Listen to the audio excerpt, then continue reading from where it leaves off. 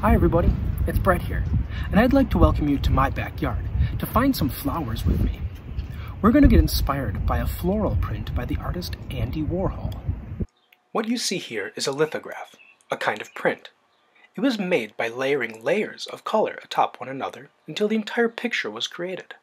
In Flower from 1964, each color, yellow, orange, two different pinks, and green, was printed with a separate stamp made from the same picture that the artist created.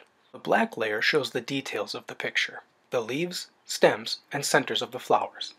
The blank spaces let the color show through. Notice how Warhol includes lots of detail in the background and fewer on the flowers. Instead, he chose to make them with flat areas of color. The colors in our project will come from the flowers and plants that we gather. Find an assortment of shapes, colors, and sizes of plants and flowers for your project. When picking flowers from around your home, be sure to ask permission first.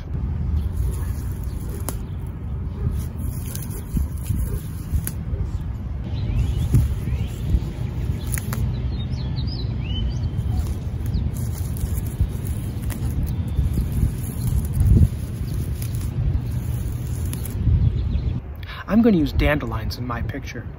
Most people don't mind if you pick dandelions since they are a weed. But dandelions make great colors.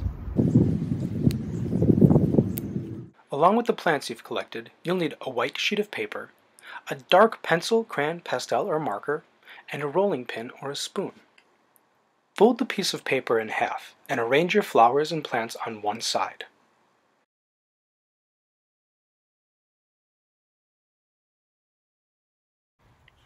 Fold the paper back over, making sure the flowers you arranged stay in place.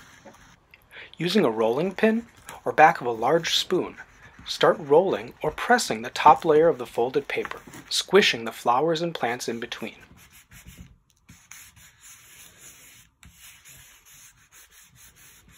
Carefully open the folded paper to peek inside.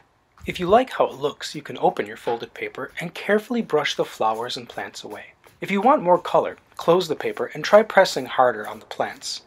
Some plants may give off more color than others. You should end up with two prints of your plants. Artists make prints so they can have more than one of the same image. Andy Warhol is known for changing the colors of his prints. There are many different versions of his flower print in many different colors. Next, add a hand-drawn layer to your print. Use a dark pencil, crayon, pastel, or marker to outline the colors recreating the original shapes of the plants. You can also use your imagination if you can't remember what each plant and flower looked like. This drawn layer will act like the final, black layer of ink in the Warhol print. You can fill in the background with other pictures, lines, or textures. Here are my two finished flower prints.